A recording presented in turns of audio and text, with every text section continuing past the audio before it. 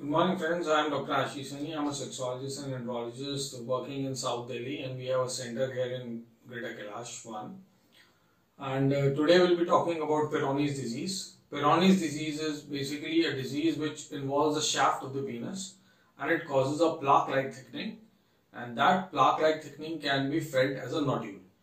सो so, जो हमारा लिंग है या पीनेस है उसमें गांठ की बीमारी होती है उसको हम पेरोनीस डिज़ीज़ कहते हैं सबसे इम्पोर्टेंट है ये पता लगाना कि भाई ये जो पेरोनीस डिज़ीज़ है, इसकी वजह ये कोई कैंसर नहीं है। सारे पेशेंट्स ये सोचते हैं, अधिकतर मरीज़ जो हमारे पास आते हैं कि भाई हमें कोई पीनिस में कैंसर तो नहीं हो गया है तो ऐसा नहीं है, ये कोई कैंसर की गांठ नहीं है।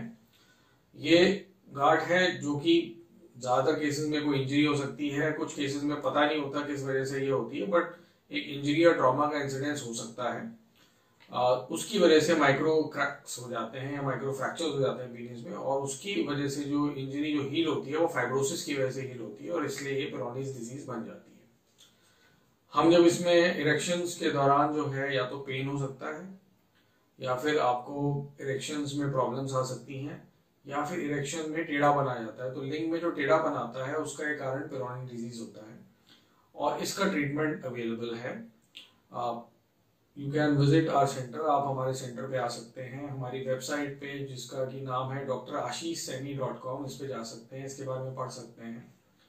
और हम इलाज करते हैं। इसका पहले इनिशियल पेशेंट्स में कुछ दवाइयाँ दी जाती हैं, फिर इंजेक्शन होते हैं। और अगर बहुत ज़्यादा कर्वेचर होता है कि इतना ज़्यादा अगर लिंग में टेढ़ापन आ गया है कि सेक्स ही नहीं कर पा रहे हैं और पेनिट्रेशन नहीं हो पा रहा है, ऐसे केसेस में हमें जो है वो सर्जरी करनी पड़ती है।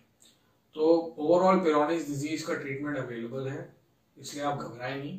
और सही समय पे सही डॉक्टर को दिखाना बहुत ज़रूरी है, क्योंकि बहुत सारे वीडियोस हैं जो कि फेक वीडियोस हैं, जिनका कोई साइंटिफिक बेसिस नहीं है, और वो जो होता है, आपके पैसे खराब होते हैं, आपका टाइम खराब होता है, और थर्ड है कि आपका जो मोरल है वो भी डाउन होता है।